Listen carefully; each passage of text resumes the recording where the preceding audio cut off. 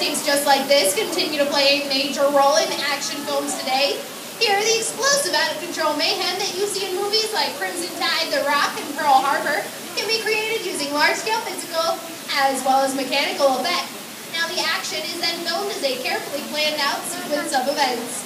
Today, we are in production of our very own action sequence called Harbor Attack, using many of the same effects that directors like Michael Bay use in their films. And speaking of Michael, well, here he is to set the scene for us.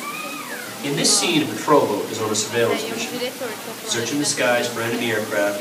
The crew is caught off guard when the real danger surfaces from the sea. This is going to require a full range of physical effects, split-second timing, and careful direction.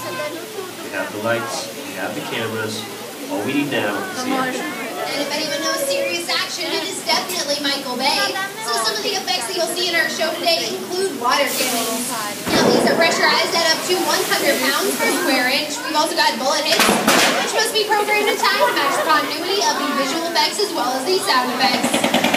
Now last and probably the most important effect you'll see in our show is fire, which must be ignited at a very precise moment because it takes a lot of work and time to reset the charges of an explosion. Of course, our number one consideration in the timing of all of these effects is the safety of our cast and crew on set. Which brings me to you.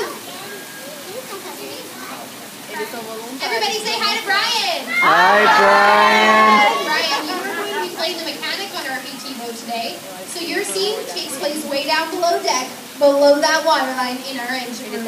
So are you ready to take a swim? Yeah? Well, I don't think those boots are. So go ahead and follow Kitty. She's going to take you right into our engine room over there. Now, we are going to be filming two different scenes today, but not in the same order that they appear in the script. This is called filming out of sequence. This is when an actor has to react to something that hasn't even been filmed yet. Now, this can get a little bit complicated, so that's where my job as director comes in to help motivate and set the scene for him. It might well. When I call for action, your engines have just gone out. You're going to pick up that phone as 800 gallons of water come dumping out of those tanks, fly down that chute, and crash into you like a freight train. So do you feel motivated? Absolutely good. Because it's actually a thousand gallons of ice cold freezing water. But there is a fine line between motivation and fear. So roll playback. And action. Remember your engines have just gone out, so that's right. Get on your phone, talk to your captain. Now keep talking.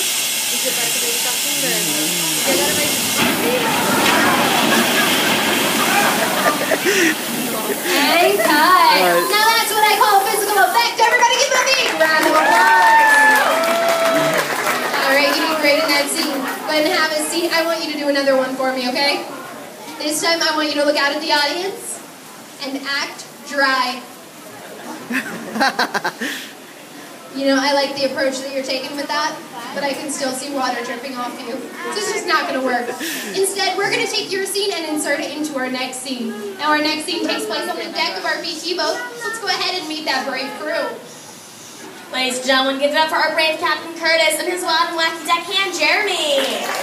Woo! Captain's on set, Curtis standing by. All right, thank you, Kitty. And roll playback. Remember, crew, you are on a surveillance mission. And action. Captain, you hear those planes above, so look high in the sky because you've got to find them before they find you.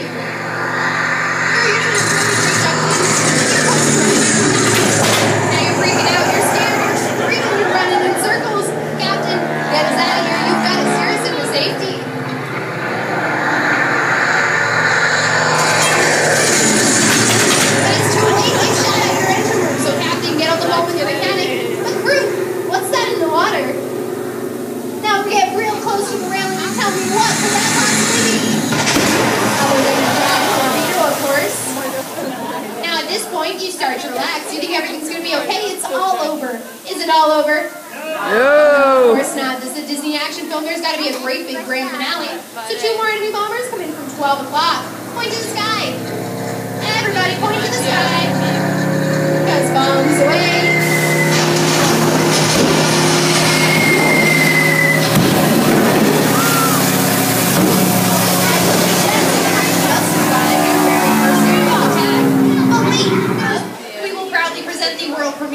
Harbor Attack.